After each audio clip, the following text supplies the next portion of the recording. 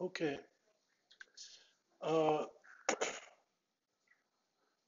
welcome back, and uh, I'm going to say that I'm 100 100% happy to see everybody, your beautiful faces here today. We had a you had a good exam, uh, number one, um, and uh, there was actually somebody that aced it, and uh, there were a lot of other good grades. And since we were ahead of uh, schedule, we're still ahead of schedule as of today, um, I gave everybody the day off, which I sometimes do. You know, the lecture after, a, you know, end of the week after a midterm. So uh, I'll be giving you some more instruction uh, on some more feedback on exam one after I tear apart the Scantron reports and stuff, and we'll get that back to you. We'll give you some handouts and stuff uh, on that. But right now you can look at your, your two component constituent grades, exam one Scantron and exam one clicking, I believe, uh, on web courses.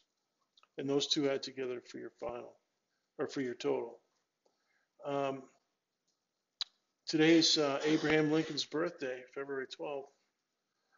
Um, here's one of his famous quotes. General Sheridan says, if the thing is pressed, I think that Lee will surrender. Let the thing be pressed, said Abraham Lincoln to General Grant. Uh, and if you look at this carefully, you'll see it was just eight days that he telegraphed uh, General Grant this way, uh, eight days before he was assassinated.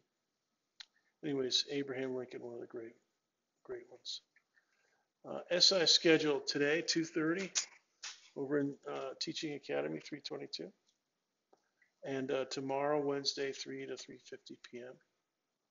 And hopefully that'll be good. And tomorrow I have office hours. Um, I think they're uh, 11, uh, wait a minute, I got it back here. Uh, yeah, 11 a.m. to noon uh, on uh, Wednesday. And those are in room 158 in the physical sciences building. So just uh, come on over there, bring any question that you like, and, and then that's what we'll talk about. Uh, I always go to office hours and I bring work to do in case nobody shows up. But if you do show up, we'll, we'll talk about what you want to do, what you want to talk about. Okay, a few lectures ago, we talked about the impulse equation uh, based on Newton's second law. F delta T equals M delta V. Go ahead and jot that down. We're going to make, a, make use of that to introduce uh, a new uh, dynamical quantity uh, that Newton uh, used as his building block for just about everything. Um, and that quantity is what we now call momentum. It's uh, mv, the mass of an object times its velocity. It's a vector quantity, so you can put little arrows over the velocity part. And the customary symbol, I have no idea why they use lowercase p, but that's, you know, all over the Western world, that's what we use for the symbol for, uh, for momentum. And Newton called it the quantity of motion, and that's what really he was thinking about. You know, you can say that something is fast, but does it have a lot of motion? Does it have a lot of and he, to his mind, uh, mv, the the quotient, the the product of mass times velocity is the thing that counts in uh, interactions. And remember, uh, the impulse equation is a version of Newton's second law, F equals ma. It's just kind of rearranged a little bit. Uh, and uh, the impulse equation is all about momentum. Now here's the other interesting thing. Uh, Albert Einstein constructed the four-dimensional version uh, of momentum. And, uh, and, it, and, and with that, he was able to effectively encode his entire theory of relativity symmetrically with regard to space and time. Uh, and here's the four-dimensional uh, version of momentum. He used energy uh, as the fourth dynamical quantity. Uh, and we will study energy as well. It's a very special physics uh, concept. And so, um, and then the other three parts of his four-dimensional vector uh, i- are, are the uh, spatial components of the uh, P equals mv momentum. P subscript x, P subscript y, and P subscript z. And we'll talk a little bit more about that. Now, we're not going to get too much, we're not going to get too fancy, uh, but we are going to try to be able to tackle, for instance, understanding this. You know, we've talked a lot about the skateboard interaction and what is exchanged equally um, in the skateboard interaction, which is a, a, simple model for all physical interactions in the universe, uh, is momentum. The thing that you know that Isaac Newton was thinking about, equal but opposite reaction, he was really thinking about exchange of momentum. Because the MV that one guy gets is equal to the MV that the other guy gets. And you can go back and uh, loop through uh, all of our uh, calculations uh, of, um, you know, with Bob and Carl and compute MV at each stage initially. Well, initially MV is equal to zero, but afterwards, um, the MV of Carl and the MV of Bob are the same size, except they're opposite directions. So you can go back and look at your notes about that. Now let's skip over this slide. Okay. Uh, so let's get down to the basics. Uh, the dynamical quantity impulse, that's F delta T. All right, in the impulse equation. Sometimes you see it this way, F times T. That's really lazy. I, I try not to ever do that, but you sometimes see that. Um, this is my preferred uh, format, F delta T equals delta P. Um, and it's the impulse, F delta T, and that's the net force, uh, that equals delta P, the change in the momentum. Uh, so delta P uh, is equal to the, imp the impulse. And we're going to work with some of that today and use it um, as a way of calculating a stopping time, for instance, and as a kind of a round the horn long way, a long cut, a way to calculate a stopping distance, which were uh, problems on uh, on exam uh, exam one on the clicking area. And don't forget, this is just another version of F equals MA. All right.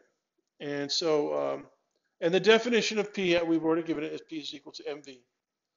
And uh, we're mostly going to be working in one dimension, so I'm not going to put little arrows over the top, but I will denote direction in the customary way I have been doing so, and that is with um, rightward being positive and leftward being negatory. All right, so now, as I mentioned, the impulse equation and the concept of momentum give us an easy way of calculating a stopping time. And that was one, I what was the clicker question? Stopping time or stopping distance for the coin? Yeah, stopping acceleration was the regular part, and then the bonus part was stopping time. All right, let's do it. Let's get it out of the way. Let's square it away. And we'll use the impulse equation. And now, does that look like something familiar? Yeah, that's a homework problem. So guess what you guys are going to get? Some more homework problems like this. All right, so let's look at this problem. I'll, I'll spell it out for you. Given a coin of mass 0.05 kilograms sliding across a tabletop from left to, oh, that sounds a lot like the exam. Uh, at initial point x1, its speed is 1.7 meters per second, and it then experiences a frictional force 0.020 newtons leftward. And we'll draw a diagram here in a second.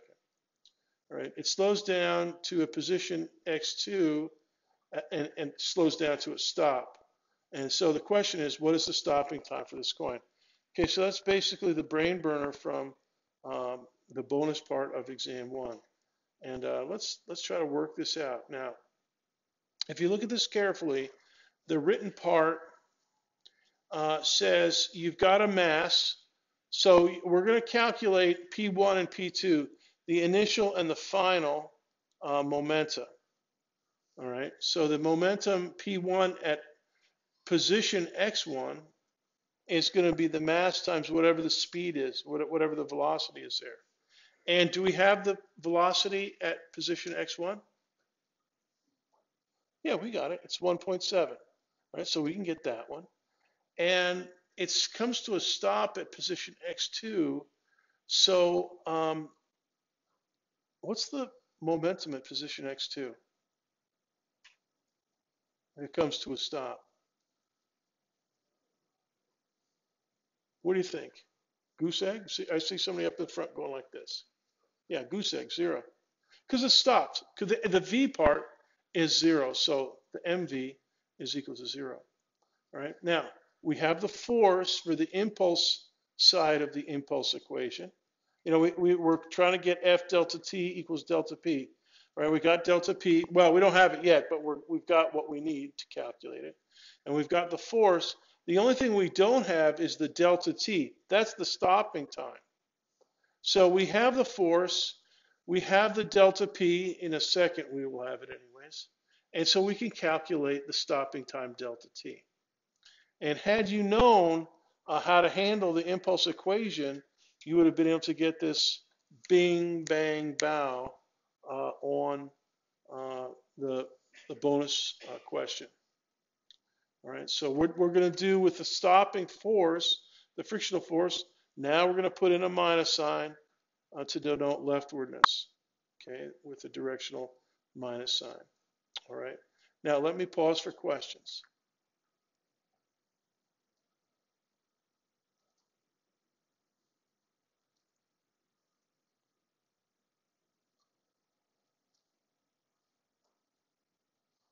Okay, let's keep going.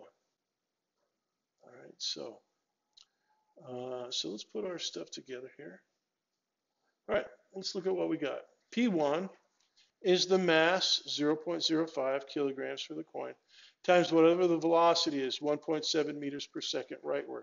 Now, when you're working on homework tonight, yes, you'll have problems like this. Have a little homework. Not a huge one, but a little one since I'm still feeling generous after the exam, I didn't give you any homework over the weekend, and I'll give you a, just a little bit tonight. But over this coming weekend, payback time, I'll give you plenty of homework.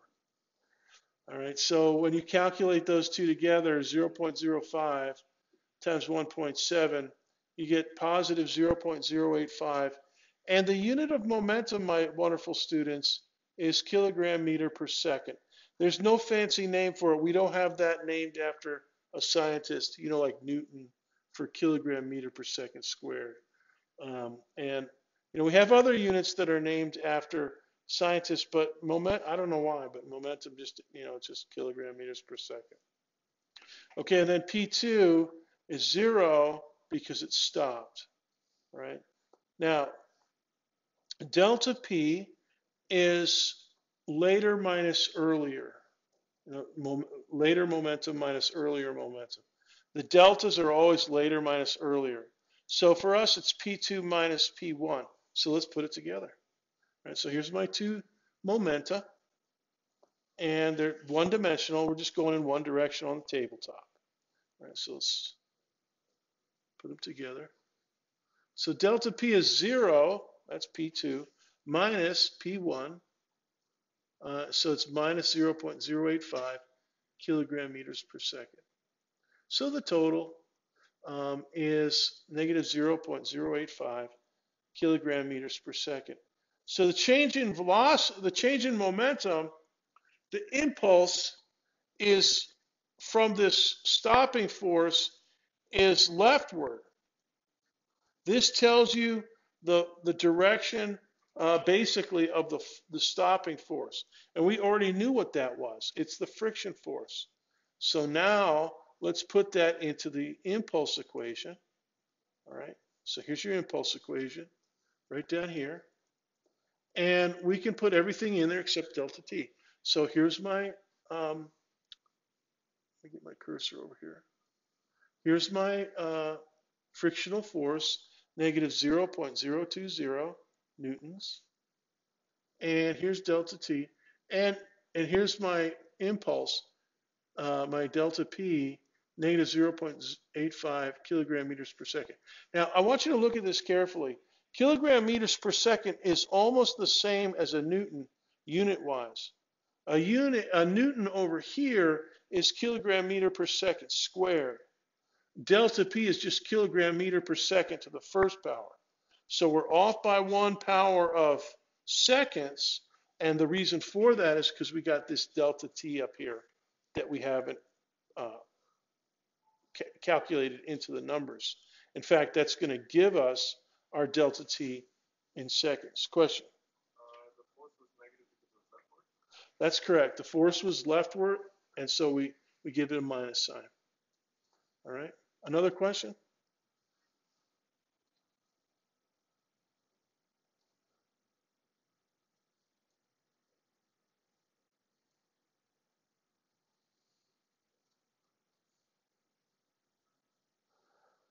Okay, speak now or forever hold your peace because you're going to do a calculation like this in a few seconds with your clickers.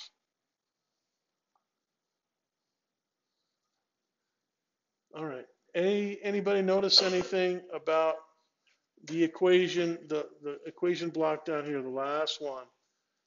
Down, negative 0.020 newtons times delta T equals negative 0.085 kilogram meter per second. Notice anything handy about that? What do you see? Raise your hand if you see something handy. Handy and nice. Looky, what do you what do you see? Huh? There's going to be some units cancel out, and you can do that at this point, but we're going to wait on the units. And, and I kind of already mentioned that because there's the new this Newton over here is a kilogram meter per second squared. So we're going to cancel those eventually, but I don't want to do those yet. But there's something else here. Do you see it? That what do you see? The what? Why? The negatives cancel out, and you can see it here, left and right. So you're going to be left with a po positive numbers everywhere, and so delta t is going to be a positive, you know, 0.7 or whatever it works out to be. All right, so we're looking good. You don't want your stopping time to be negative, your delta t to be negative, because that means you're going backwards in time. I'll stop two minutes ago. That doesn't make sense. So we want that to be a positive number. So yeah, you could cancel the, can the negative signs here now if you want, or you can wait till later. And I'm gonna, I'm gonna carry them uh, to the next page. So let's go to the next page. All right, so here's what we got. I still have the negative signs up there. You could have canceled them earlier and it would be even simpler. Um, all right, so just to remind you, here's the impulse equation. Here are the plugins of the things that we know. And some of the things were given, like the, the force, negative 0.20 newtons, uh, but some of them we had to actually calculate ourselves, like delta P over here, negative 0.085. So when you're looking at these problems in homework, remember to read carefully for information. All right. Also, um, if you have a problem like this in homework, it's going to change with some random, at least one random value. So it might be the mass or the stopping force or something, uh, the speeds. Uh, so read carefully for that reason as well, because you know the numbers that you use for your first attempt might not work, probably won't work on your second and later attempts. But I think you guys already know that. All right, so now let's clear. Um, divide both sides by negative 0.020 newtons. And here, and so now here, um, what is your name here in front? Carolyn. You, you pointed out, let's cancel units, and you could have done it back there. And I'm doing it here, and notice that my 0.020 newtons, I've changed it to kilogram meter per second squared. And that is so that you can see everything that cancels out, right?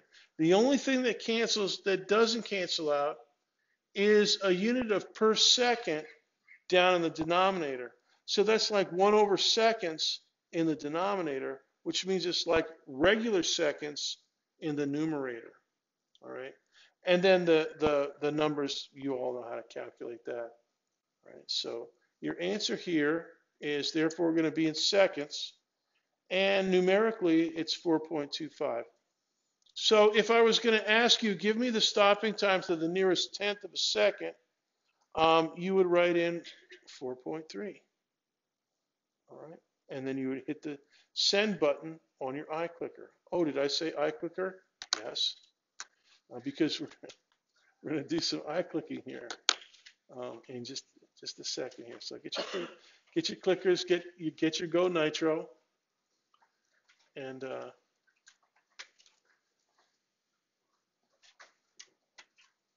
let's let's try to think about try to think about this uh, lovely impulse equation.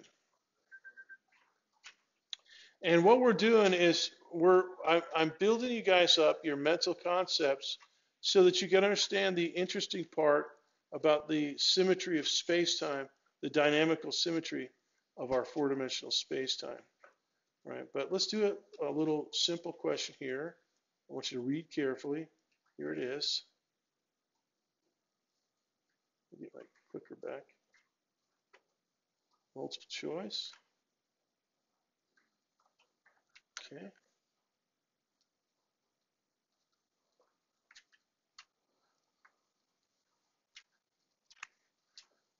Get a little light up here.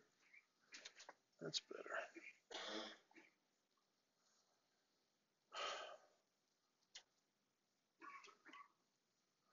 So you have a Klingon bird of prey.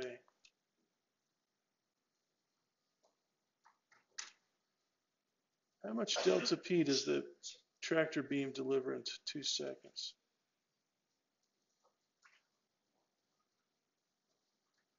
Now, in this problem, there's a couple things that you don't need. That, you know, you don't need all the numbers. Jot them down, I mean, because, you know, you may need them in a later problem, but not all the numbers are needed for this answer.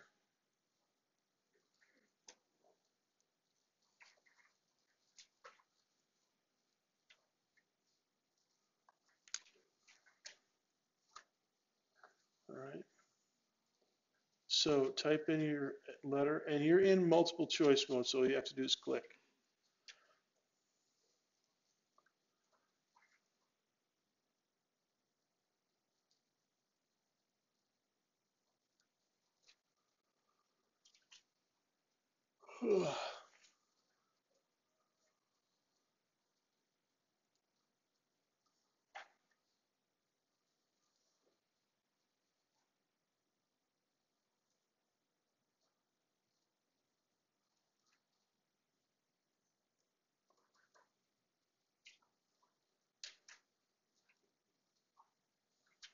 All right, the impulse equation.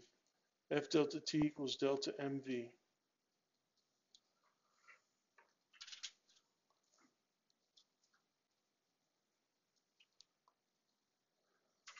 Okay, 30 seconds to input, in, input your question, your answer.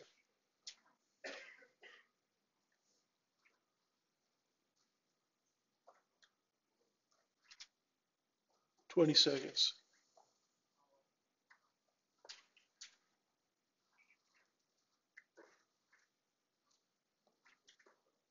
10, 9, 8, 7, 6, 5, 4, 3, 2, 1, 0. All right, let's see what you guys got here.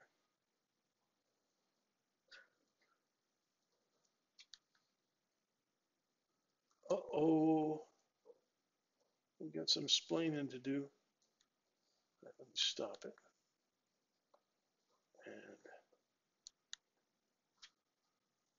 Here's your answer. F delta T. The tractor force, the tractor beam is 12 newtons, and delta T is 2 seconds, so 12 times 2. And that's the only one that's equal to 24. So, and it's kilogram meters per second. Now, a bunch of you voted for that, but more people voted for D, 9.0. What? Oh, you know what D, you know, what's D is is a good answer, but not for this question. What's that the answer for? What's the Jeopardy question for uh, D, 9.0 kilogram meters per second? Raise your hand, Jeopardy contest, Daniel. Yeah, what is the momentum? Okay. So if you want to know what the momentum of the, the blob of green jello is, yeah, uh, MV, 4.5 kilograms of mass times speed, uh, 2.0 meters per second. But that's not what the tractor beam is doing. So here's another way to put it. And if you jot down all, you basically write all this down. It's like a little uh, blurb of notes to a diagram for me to lecture about. That's the momentum that would be changed by the tractor beam. So in 12, in two seconds, it's going to have another, it's going to be changed by 24 kilogram meter per second. So it might be down to, um, uh, down to negative 13, or it might be up to positive 33, or something else, depending on the direction of motion of the green blob of gel, which I didn't mention, and the direction of the tractor beam, right? So be aware of that when you're in a question of this kind, uh, where you, you know, you have a bunch of numbers and stuff, you can get righteous numbers, but they might not be the right answer for that question. All right, let's try another one.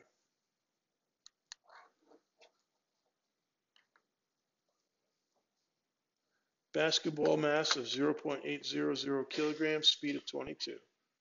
How many seconds are required to stop it with that stopping force?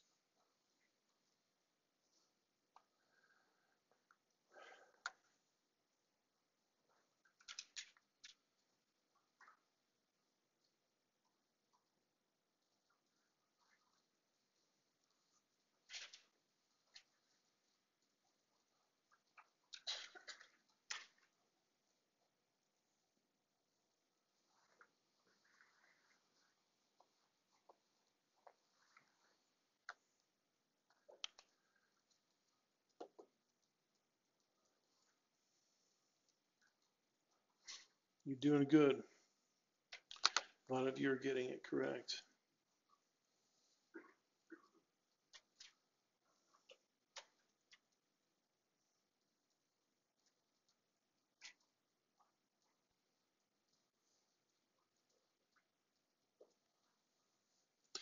Whoever's voting for B, you're overlooking something that's important.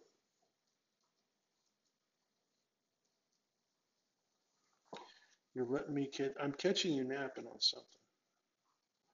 Basically, you don't want me to catch you napping on stuff. So,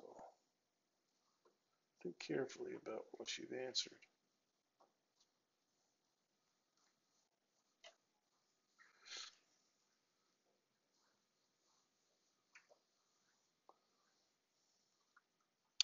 Okay, uh, 20 seconds starting now.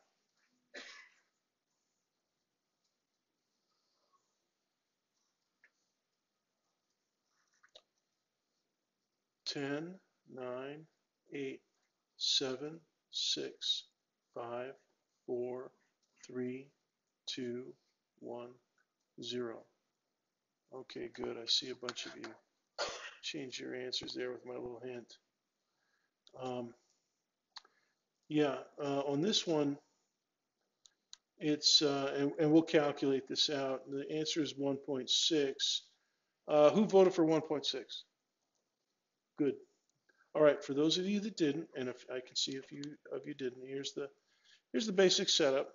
Okay, you use the impulse equation. We're after delta t. Okay, and here's the uh, initial momentum, and we want to turn that down to zero. So uh, you know, so delta t. Now, uh, in this one, I'm dropping my minus signs. So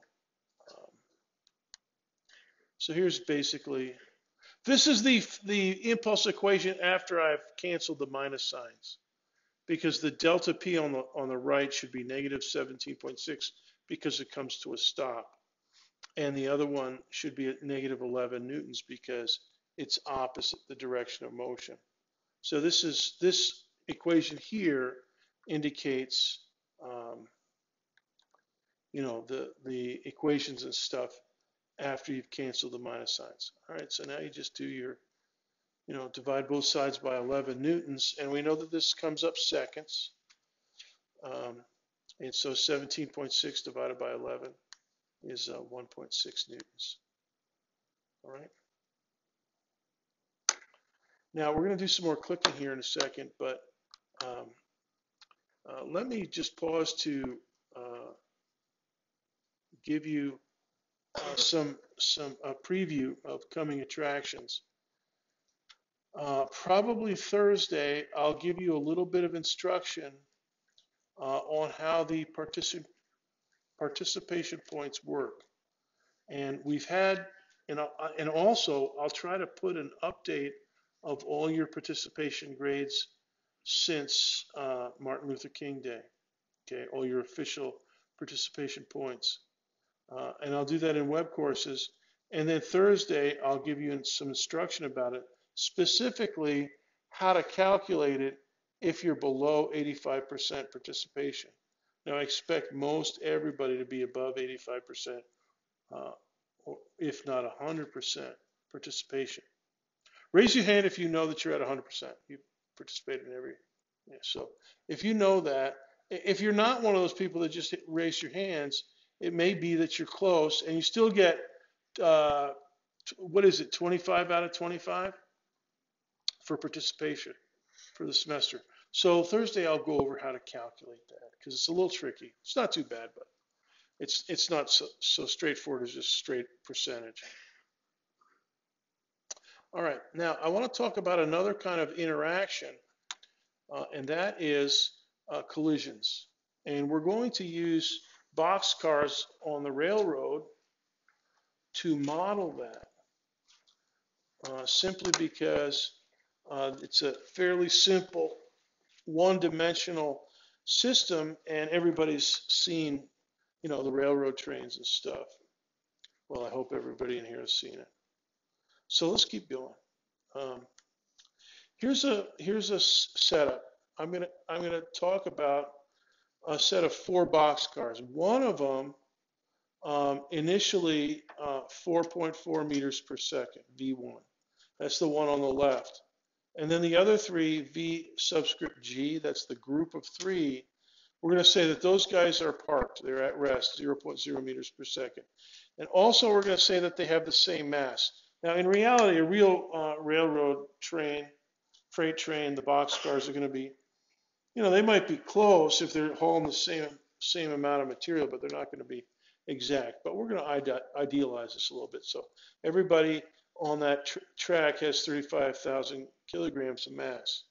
So if you look at that, you can figure out MV uh, for every object in view before the uh, V1. You know, V1, or excuse me, uh, uh, boxcar 1 is going to smush into the uh, end of the group of three boxcars, and then they're going to mosey on off to the right at a little slower speed. And that's actually what we're going to calculate.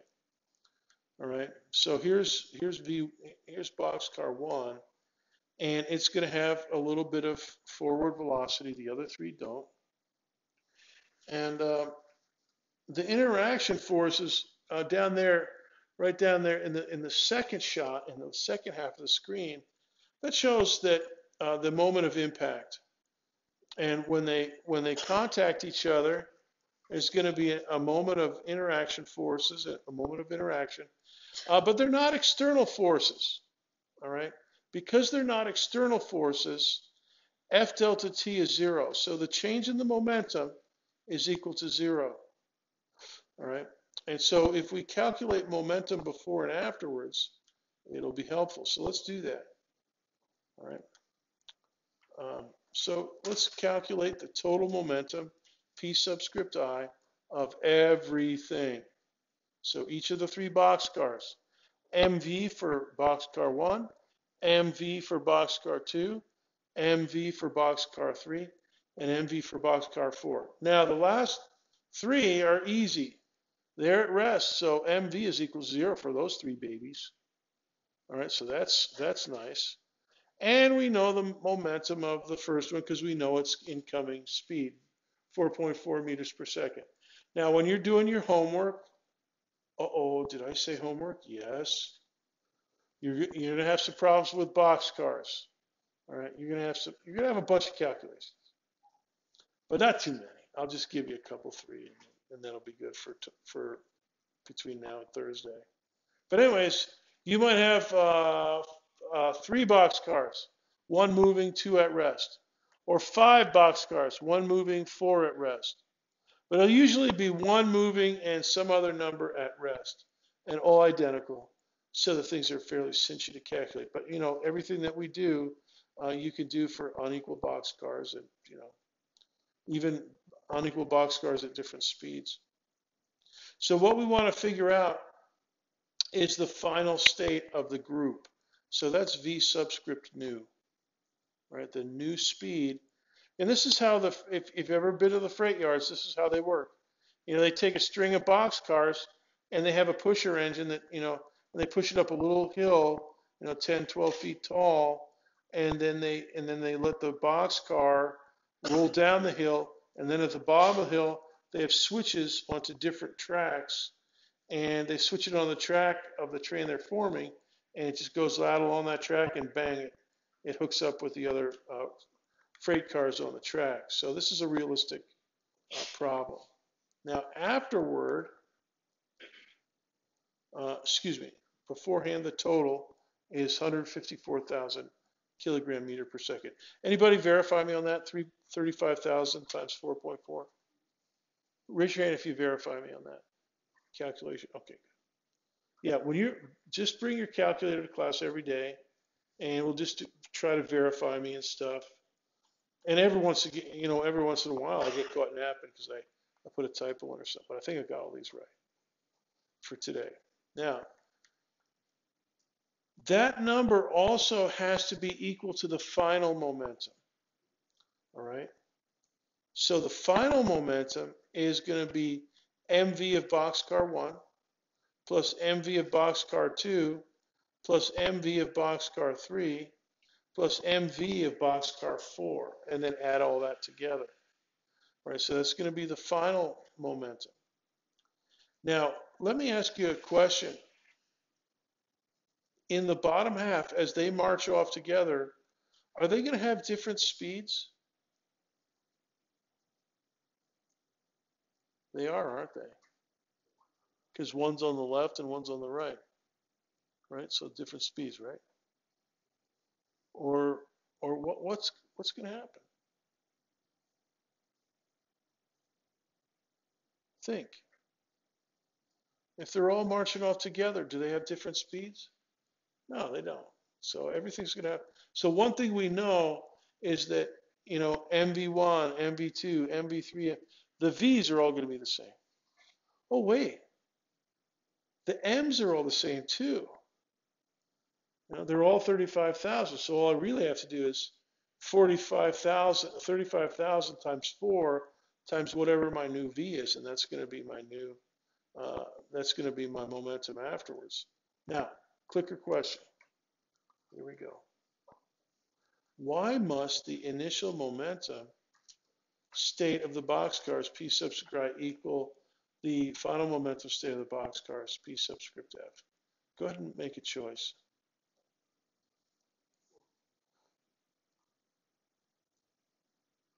Actually, wait a minute. Let me terminate that question. Uh, I want to do a different. I want to do. Hold on a minute. Uh, hit your refresh key.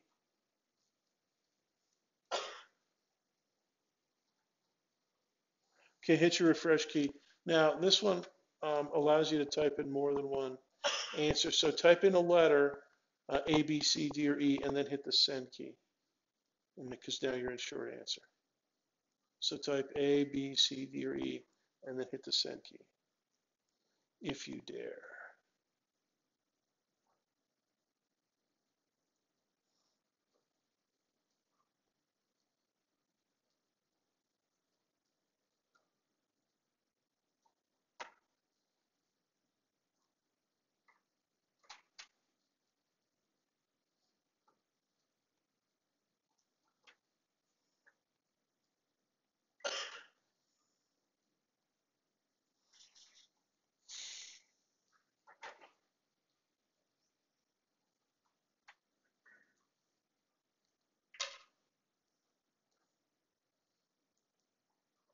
Who typed in seven? Don't type in two letters. Just give me one. I see a few of you typed in more than one. Just give me one letter, the one that you think is best. And then hit the send key. And don't type in good. Okay, seven is gone. Yeah, so don't give me two letters. Give me one. And you can change it. Just delete one of them or delete both and then type it in again and hit the send key. All right. Uh, 20 seconds.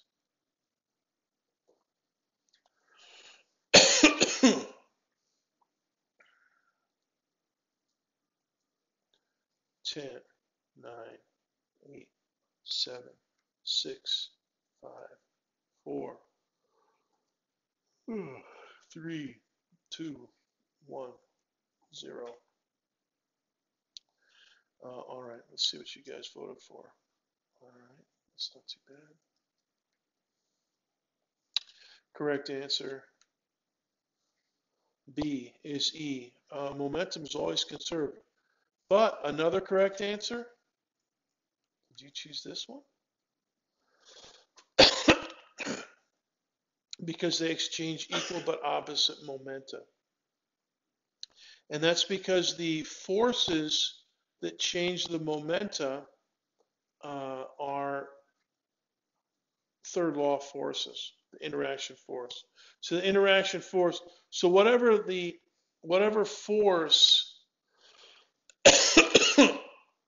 excuse me, I'm coughing into the mic here.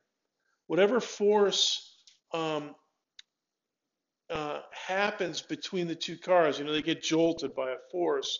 You know, one going uh, off to the to the left, you know, the, the boxcar number one is getting a jolt this way, right? So he's going to slow down a little bit. And boxcars two, three, and four are getting jolted off to the right, uh, but by the same size force. So uh, option C here is also correct. All right, so remember that. All right, let's keep going. So P subscript F is 154,000 kilogram meters per second. Now that is what we call conservation of momentum. Conservation of momentum holds when there are no external forces acting. And I should say no unbalanced external forces. Because actually there are some external forces acting here. Gravity downwards and the rigidity force of the uh, railroad track upward. You know, in other words, you can't make a railroad track made of jello. Right? You've got to have some stiffness to it and that stiffness is going to support against gravity. So we call that a conservation of momentum. And now, as I was mentioning, you know, we, you know, when we were talking about MV1, MV2, MV3, MV4 for the four box cars afterwards, yeah, they all have the same mass, and because they're all connected together like box cars are, the velocities are all the same. So we just have one symbol V subscript new, And we can simplify, uh, and this is just using the definition of momentum for the four box cars and then adding them up. It's going to be 140,000 kilograms times the, the new speed. And that new speed is going to be a little bit less than uh, uh, 4.4. All right, so let's figure that out now. Right, so it, can you see where we can get, can you see, looking at this equation now, can you see where it's possible for us to calculate V subscript nu? Can you see that? Yeah, all we got to do is just divide now. We got everything on the left side. We got everything on the right side. And so we can just, so here we go. So there's P subscript F on the left side by conservation, on the right side by definition and just divide both sides by 14, 140,000 kilograms. And notice that kilograms cancel top and bottom, but I'm still left uh, on the numerator with meters per second, which is good because I'm trying to figure out a speed. So I better have meters per second for my leftovers that aren't canceled, and I do. So now you just calculate and you get um, 1.1. All right. Now let me pause for questions because you're going to do a calculation like this in just a minute. 140,000 is because um, the the right side is the sum of excuse me MV1, MV2, MV3, MV4. The V1, V2, V3, V4, they're all the same, right? So that factors out. And the M's are all the same, so that factors out. so you basically have, so Sean, you have 35,000 kilograms times V nu plus 35,000 kilograms times V nu plus 35,000 kilograms times V nu plus one more 35,000 kilograms times V nu. So saying that it's 140,000 kilograms times V nu is just a shorthand for that. all right. Question. So it's the sum of all of the boxcars.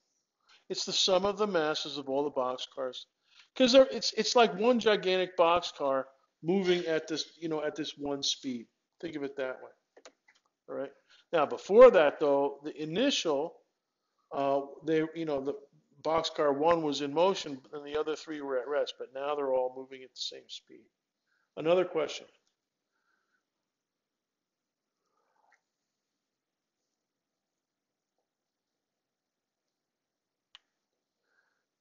Okay, uh, let's go to calculation time. Hit your refresh key. And let's go to the next question. All right, same set of boxcars, but different initial speed. It's, it's blazing a little bit faster here. So uh, let me change. This is numeric. So this is going to get you so hit your refresh key and then and you can type in numbers and stuff. So, so and, and what I want is to the nearest 0.1 meters per second of speed. So it's going to be something point something. All right, so give me something, but don't write in meters per second, even though you can. I just write in something point something and then hit the send key.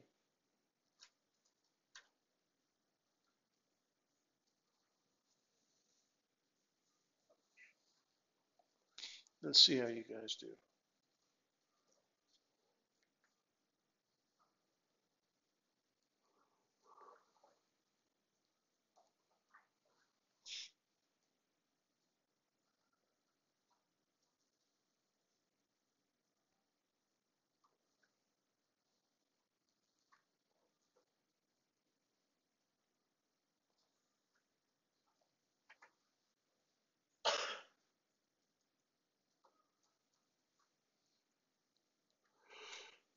Ugh.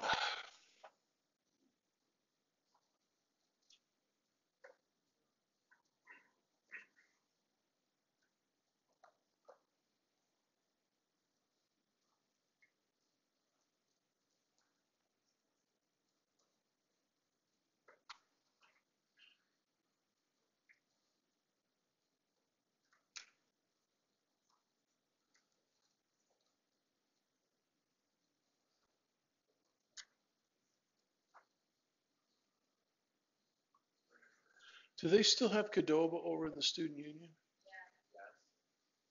What's the best uh, sandwich? Do they have Chick Fil A over there? No, that's at uh, that's at John T. Washington. But what's the best one in the student union? I haven't been over there to check them out. I know they got a bunch of new ones. They, what? They have steak shake? Oh my goodness. Thomas Brickner. That's my favorite steak and shake.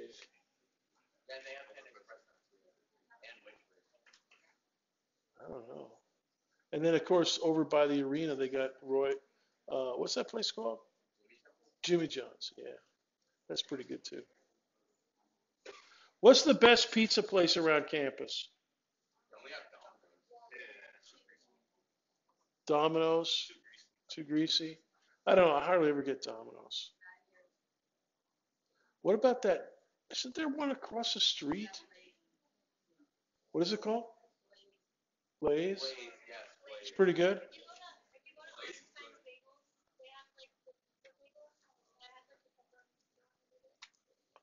Einstein's pizza bagel. Ooh, that sounds good. But that's that's the whole point. Messy, messy is, is what makes it good. All right, uh, 30 seconds to get your number in. You can tell I'm ready for lunch. I'm daydreaming about all these sandwiches and pizzas and stuff. All I got back in my office is a bunch of sardines and some and some protein bars. 10 seconds to vote. 10, 9, 8, 7, 6, 5, 4, 3, 2, 1, 0. All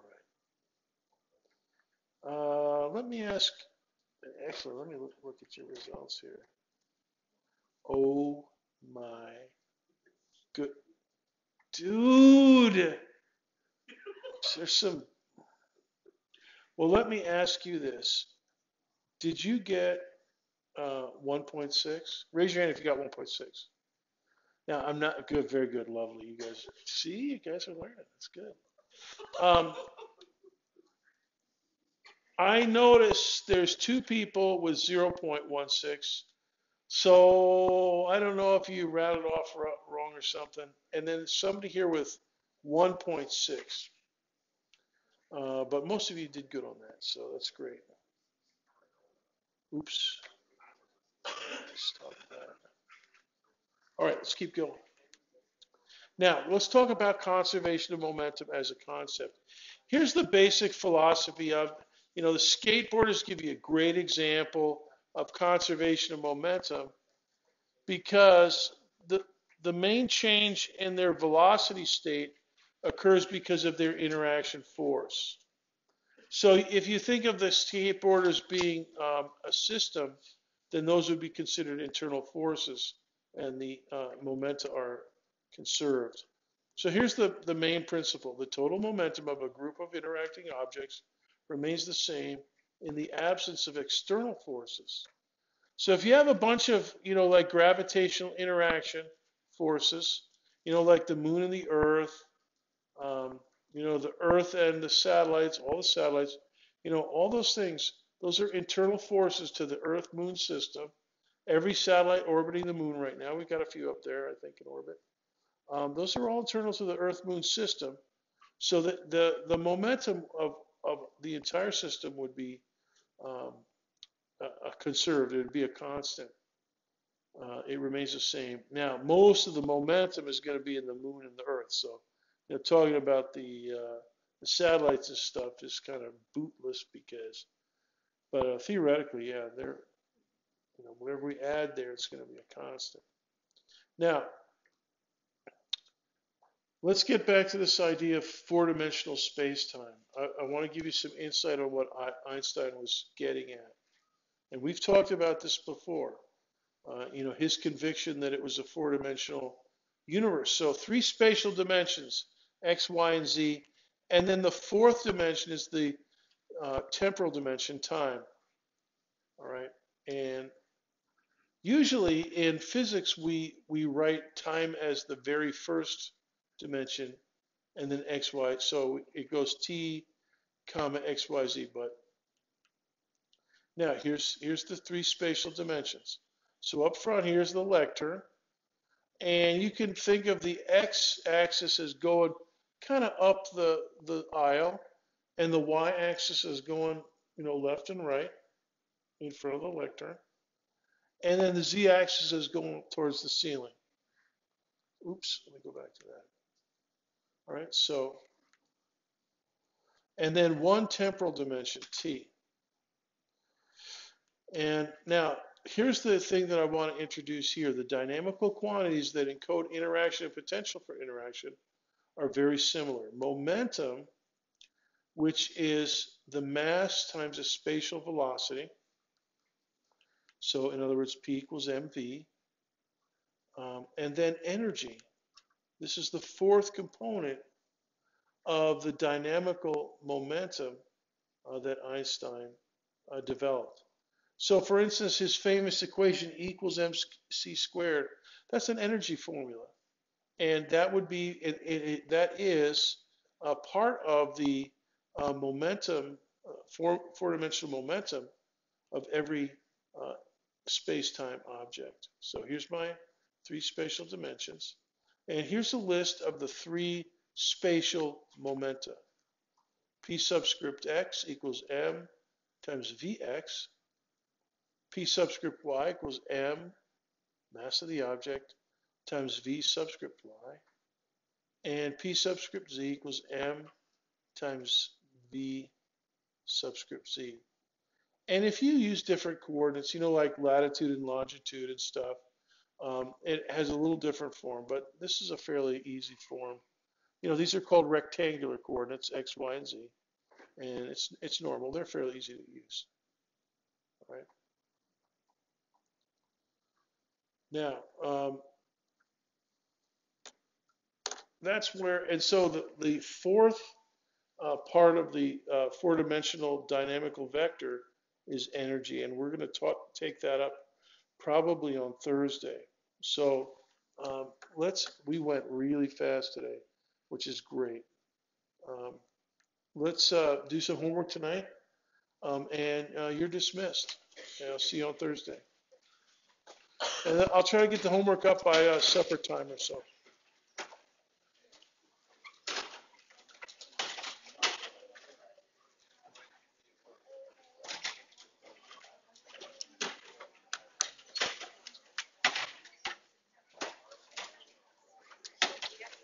Yeah.